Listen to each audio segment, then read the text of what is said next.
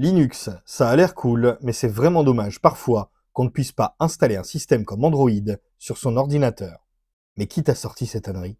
Bien sûr qu'il existe des systèmes d'exploitation qui ont pour base de conception Android, et bien évidemment nul besoin d'une configuration performante pour que ça tourne. Si tu veux faire un test, alors tu peux faire ça. Tu te rends sur le moteur de recherche de ton choix et tu vas saisir ceci puis choisir ce résultat. Une fois sur le site de l'éditeur, tu te rends dans la section téléchargement en utilisant si nécessaire les trois petits traits en haut à droite de l'écran. Tu peux à ce moment choisir la version du système que tu souhaites, sachant que chacune d'elles est basée sur une version d'Android plus ou moins récente. Lorsque tu as fait ton choix, il faudra bien récupérer dans la liste des fichiers sur SourceForge celui avec l'extension ISO. Dans mon cas, j'ai opté pour cette version où la suite applicative de Google est présente. C'est indiqué dans le nom du fichier avec le terme JApps. Lorsque le téléchargement est terminé, il ne me reste plus qu'à faire une clé USB bootable avec ce fichier image via Rufus par exemple, ou tout simplement utiliser Ventoy comme je l'ai déjà montré de très nombreuses fois en vidéo. Je colle simplement l'ISO sur ma clé, je démarre dessus, et me voilà sur le menu me donnant le choix de démarrer Android en mode live, c'est-à-dire l'utiliser immédiatement depuis la clé sans installation, ou alors l'installer sur mon disque dur si je le souhaite. Je vais choisir le live boot, et en quelques secondes à peine, me voilà sur mon système, pilotable à la souris et au clavier, avec une barre des tâches et un semblant de menu démarrer